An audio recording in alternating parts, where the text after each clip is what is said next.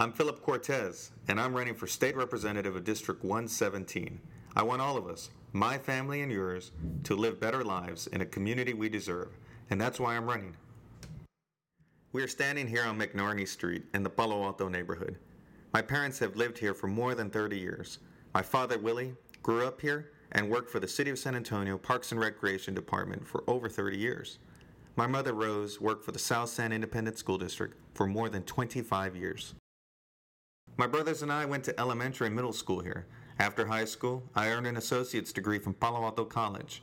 My parents raised me to value education, and I always have. The number one issue facing our state is funding for education. Last session, $5 billion were cut from public and higher education. If I have the privilege of representing you in Austin, I will fight to ensure that our classrooms and children are properly funded and never left behind.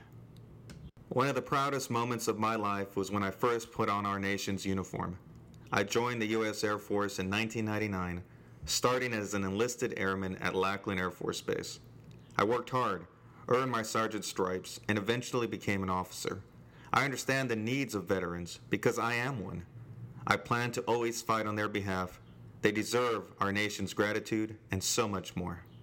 In 2007 and 2009, I was honored to represent District 4 on the San Antonio City Council. From there, I led efforts to improve neighborhoods in my district.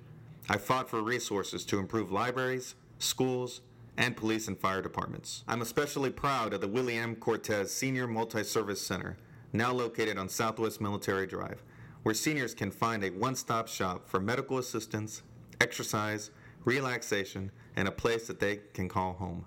Our seniors have worked hard to give us the lives we enjoy today. I fought to improve their lives and health when I served on the City Council, and I'm going to do the same if you allow me to serve you in Austin. What was once a campaign has quickly turned into a grassroots movement. Every day I meet people who want someone to lead them toward a better future, someone they can believe in. They want someone from their community to speak for them. I'm Philip Cortez, your neighbor. I respectfully ask for your support.